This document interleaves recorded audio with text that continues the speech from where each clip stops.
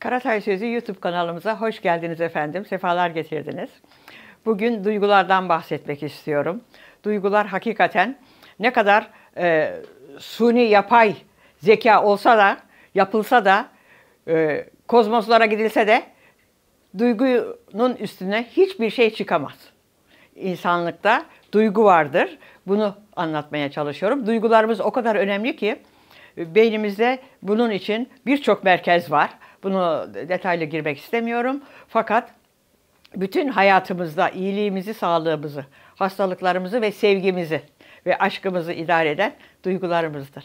Hani kalp diyoruz ya, kalben konuşun diyoruz ya, e, mantıkla konuşmayın, kalben konuşun diyoruz. İşte kalbi demek, yani beyindeki mutluluk demek.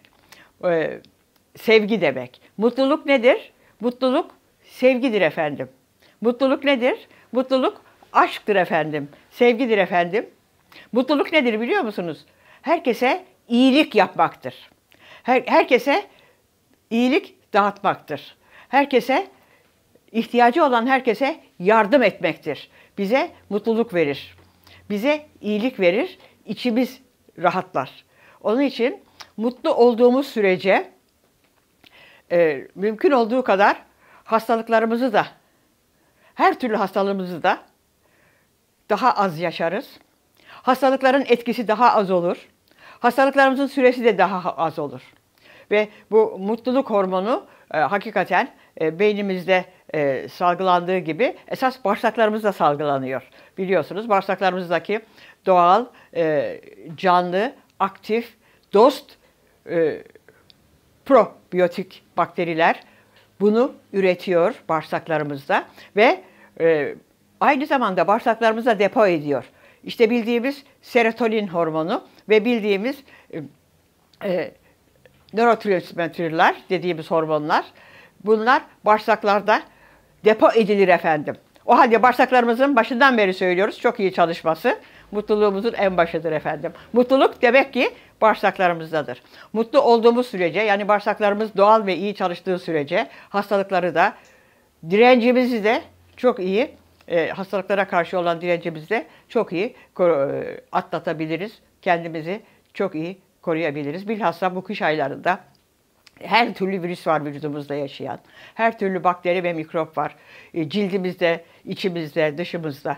Bunlar, bunları da hakikaten eğer e, bağışıklık zırhımız güçlüyse hiçbir zaman e, hastalıkları hafif olarak geçirebiliriz. Hiçbir zaman hastalanmayız. Onun için e, mutluluğumuzu e, yaratacak, sağlayacak daha doğrusu olaylara yönlenmemiz lazım. Bunlar nedir? İşte sevdiklerimize sarılmak, çocuklarımıza sarılmak, her gün birisine e, bir iyilik yapmak, iyilik yapmak, iyilik yapmak insana en büyük mutluluktur. Başkasına iyilik yapmak. Habbena, Rabbena demeyeceğiz efendim. Sokaklarda yürürken çarpıp geçmeyeceğiz efendim. Gayet nazik bir şekilde, gayet çağdaş bir şekilde, medeni bir şekilde e, büyüklerimize saygı göstereceğiz. Küçüklerimizi seveceğiz. Büyüklerimize sarılacağız, çocuklarımıza sarılacağız, sevdiklerimize sarılacağız. Sevdiğimiz bir müzik dinleyeceğiz. Sevdiğimiz bir havada yürüyeceğiz. Denize girip yüzeceğiz. Gün batımına bakacağız.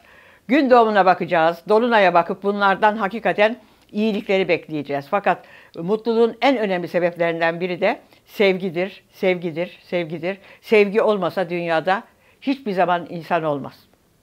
O halde e, lütfen e, artık birbirimizi yemekten vazgeçelim. Birbirimize mutluluk aşılamaya çalışalım. iyilik aşılamaya çalışalım.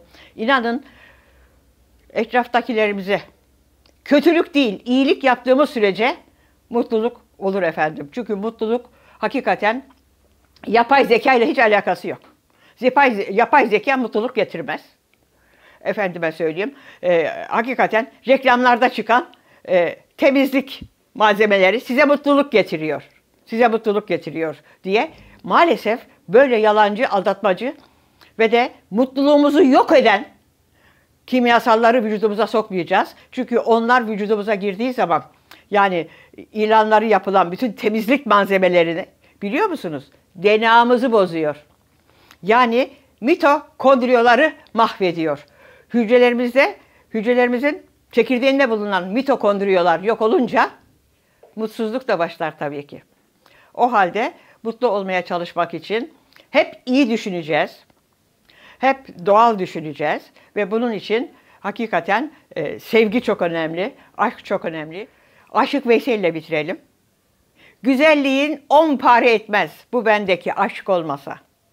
Yunus Emre de diyor ki aşk gelecek o zaman bütün dünya hakikaten mutluluğa erer. İyi günler efendim.